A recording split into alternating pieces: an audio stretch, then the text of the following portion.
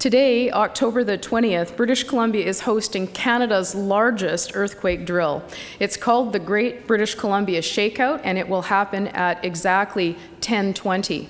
We are delighted that this year we have more than half a million people registered in British Columbia. And since last night, we've actually seen that number go up by 20,000 people. One of the things that's uh, incredibly important is the team of experts that we have in place in British Columbia. They are exceptional at what they do.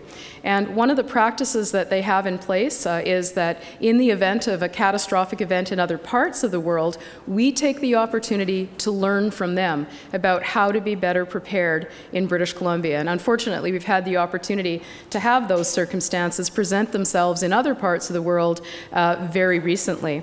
So we've just experienced an earthquake. We've dropped, covered, and held on, and we know that this is the best way to protect ourselves. So even if we do experience structural failures, like walls or parts of the roof falling in, you can protect yourself under a sturdy piece of furniture. And here, certainly in the legislature, being an older building, there are many pieces of, of incredibly strong furniture in this building. We all agree that drop, cover, and hold on is the most effective way to protect yourself. Even in buildings that have collapsed in other parts of the world, people have been rescued, have survived under sturdy furniture, furniture that has created a safe place.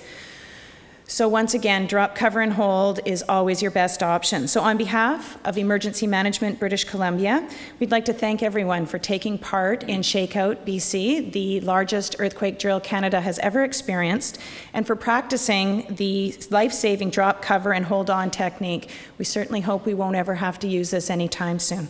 Thank you.